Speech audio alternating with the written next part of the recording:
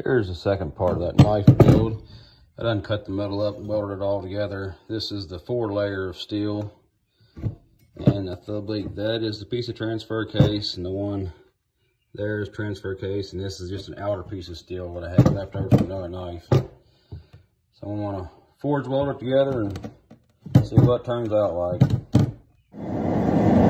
just put the first layer of flux on it.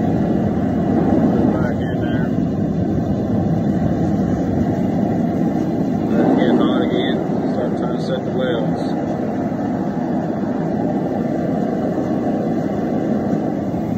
Just put the second layer of flux on, tapped it a little bit, trying to get the weld set.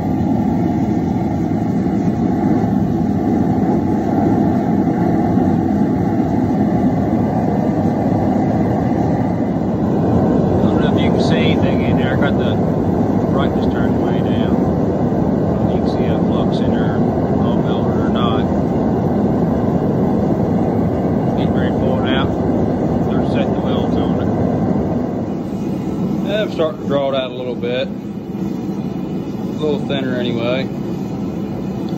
Keep heating it up, beating it, trying to draw it out a good bit more. Been drawing it out a while. That's about the thickness I think I'm gonna keep it there. I draw the knife profile out on it. Cut it out with a grinder maybe. Something a little more simpler.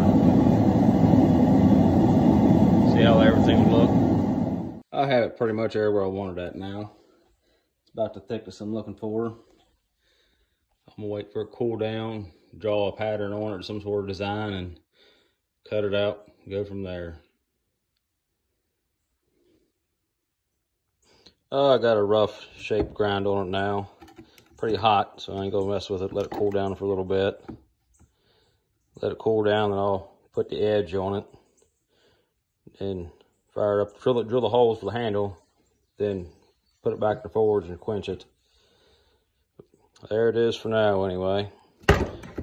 Went from that to something that looked kind of sort of like this, but a little bigger.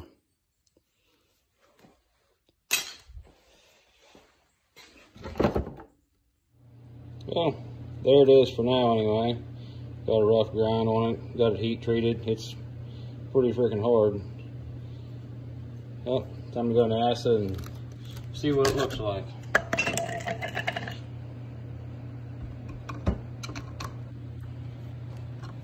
Need more acid.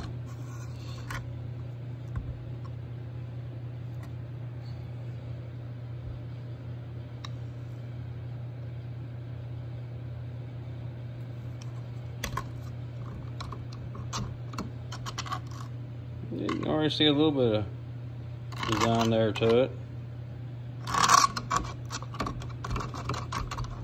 I'll let it sit in there for a minute or so, see what it looks like. There's the pretty much the finished knife.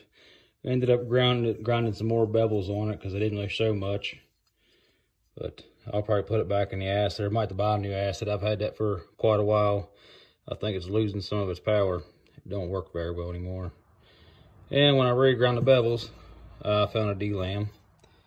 But I don't think it'll affect it anywhere it is right there. That side there don't show much. I'm assuming that's where I put that single piece of metal out on there. But I'll put it back in some acid, let it etch a little longer so you can see something a little better. And part three will be making the handle, which will either be wild cherry or redwood. One of them two. Not sure yet. I'll decide on it though.